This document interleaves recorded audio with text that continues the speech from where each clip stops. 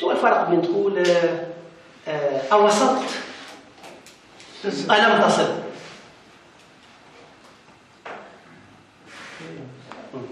أشرحنا لك صدرك وألم نشرح لك صدرك. أشرحت له سؤال هذا يحدث وقد لا يحدث لكن ألم هذا ثبت وقوع الفعل أي نعم صحيح صحيح صحيح. صحيح نعم هذاك عندك الاستفهام فرق بين استفهام منفي واستفهام مثبت.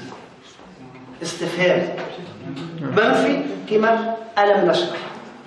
ألم يأتي تمشي لبوك تقول له أعطيني فلوس يقول لك ألم أعطيك بالأمس. وفين يقول لك أعطيتك بالأمس. أعطيتك بالأمس هو استخبار عن مجهول. هو يستخبر عن شيء يجهله. لكن ألم أعطيك آه تذكير لا تذكير بمعلوم مش أعطيتك البارحة. مش البارحة فما فرق بتقول لك أنا أعطيتك البارحة وبين يقول لك مش أعطيتك البارحة. كانوا يذكر فيك. إذا كان كنت ناسي إذا أنا مش ناسي. مش إذا- لا هنا هو استفهام تقريري هنقول بدأ يقول لي قرر فيه. مش أنت عملت هكا. ألم تفعل كذا؟ إحنا في بالنا. أما نحب ناخذ من عندك إقرار.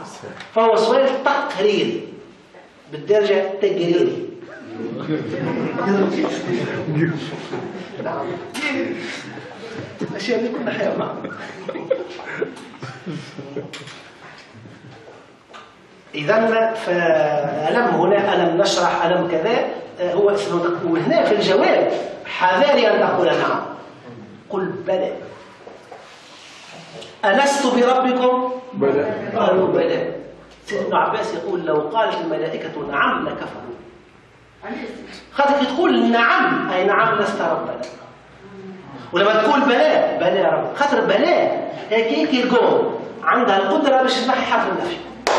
ونعم ما تنحيش. ولذلك تجي اسمها المنفي يقول لك آه، في آخر سورة التين. أليس الله بأحكم الحاكم قل بلى لو قلت نعم أي لست أحكم. أي نعم لست أحكم. لكن قل بلى. بلى أي أنت أحكم. الحاكم كي يجيك الاستفهام منفي الجواب هو نقول به. بلى. ما تقولش نعم. نعم ما عندهاش القدرة على نفي النفي.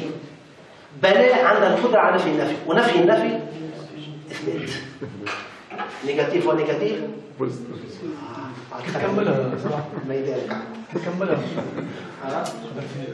تفسير ذكر متين والزيتون كل كتاب معها وعن نقول لك هي احسن قل انت نعم لا قل بلى لا قل بلى بلى تقولش نعم بلى وأنا من الشاهدين. اذا نعم عندك. على ذلك. لا. أنا عندك لا عندك الجواب في عندك الجواب في الوحدة لما قالت ملائكة ألست بربكم؟ قالوا بلى نعم ما تسمعش نعم. تستعمل نعم إذا كانت تحب تخلي النفي. أما النفي تحب تنحيها حط بلى نعم ما هيش قادرة على فسخ النفي. بلى هي الوحيدة اللي قادرة على محو النفي. ألم نشرح بلى؟ أليس الله يحكم بلى. أي بلى أنت أحكم الحاكمين يقول لك الوالد ألم أعطيك؟ قل له بلى. إذا كنت تحب تقول لك أعطيني وإذا تحب تنكر قل له نعم. أما نعم عن نعم لم تعطيني أيوة. أما هو يفهمها نعم عن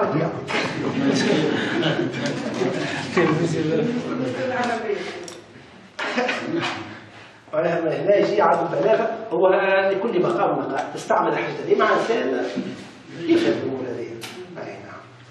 وإلا يكون إنسان وإلا يكون ولذلك يقول سيدنا علي خاطب الناس بقدر عقولهم. ساعات سيدي تفهمها بالعكس. بلا معناها لا ولهذا لابد من وهذا يقول شنو البلاغه هي آه، اس- آه، يعني آه، موافقه الكلام لمقتضى الحال يقول لكم كل مقام. يحسن المقام اللي فيه؟ وقت الإنسان يحسن إعطاء الكلام في مكانه آه، يكون بليغا لازمك تعرف خاصة اللي يحكم في الكلام تاعك هو المتلقي عالم مش عالم. أمي ولا عالم. امرأة ولا راجل كبير ولا صغير. حتى المكان يحكم فيك. تتكلم في تيران تتكلم في الدار تتكلم في المسجد ولا في الشارع. كل مكان عنده وكل وقت أيضا عنده كلامه زاد وكل شخص تتكلم معاه بطريقة هذا كله هذا هو من البلاغة. هذا مطابقة الكلام لمقتضى الحال. تشوف أنت والشخص اللي قدامك فلا درجة هو. في البلاغة يقول لك السامع عن ثلاث درجات. إما أن يكون خالي الذهني وإما أن يكون مترددا وإما أن يكون منكرا. كل واحد تعطيه الخبر بطريقة إنسان خالي الذهن أنت ناجح. ما فيش حاجة تعطيه توكيد مش لازم هو لا علم له بشيء أنت ناجح. هو متردد. إنك ناجح. هو منكر. والله إنك ناجح. وكل ما يكون منكر قد ما تقاوله في النفي.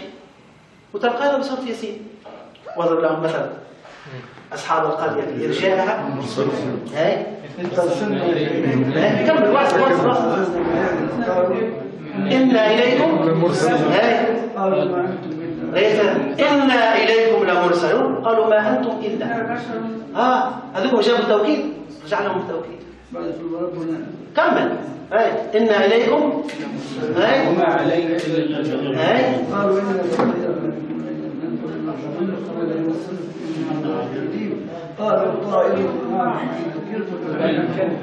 وجاء من أقصى المدينة رجل يسعى. قال يا قوم اتبعوا. اتبعوا من لا يسألكم أجرا.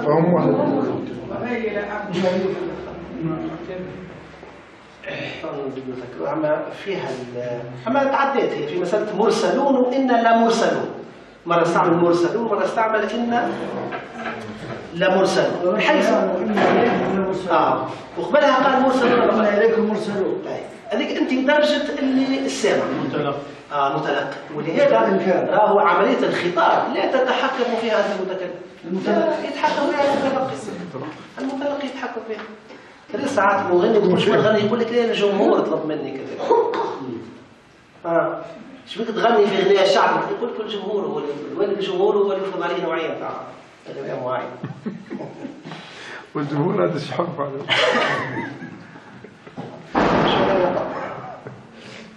لهذا كان يصير يجي انسان يحكي محاضره يسال ما شكون المتلقي شنو مستوى اي نعم وهذا كان المفروض أنا عملته في الاولى ما عملتوش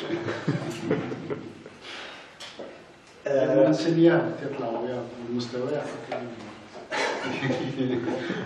عامله من فايده الناس كل ان شاء الله اذا لم ولما والم والم أيضا الم أيضا الم قل الم يرفع الاذان الم الم يرفع. لكن للتخفيف نقول ألم يرفع لعلم الأذان. أما هي أصلا ألم يرفع الأذان. الم الم الم أي أنه إلى الآن لم ولكن سي لا سيرفع. ألما يرفع الأذان. يرفع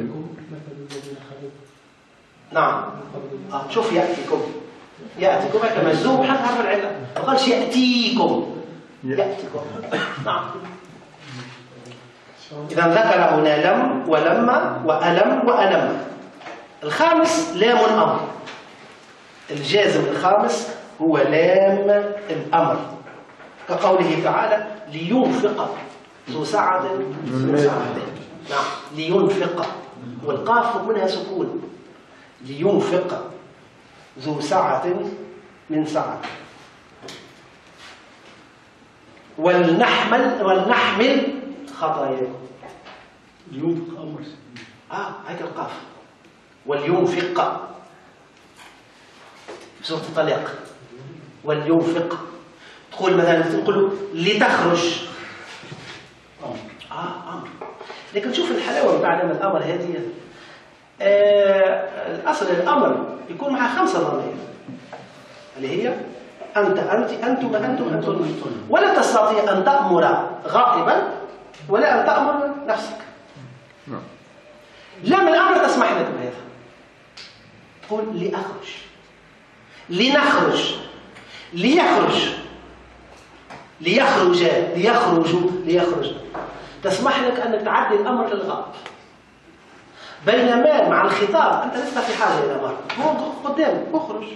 اخرجي أخرج اخرجوا اخرجنا لكن مع البقية تستعملهم لام آه لام الأمر.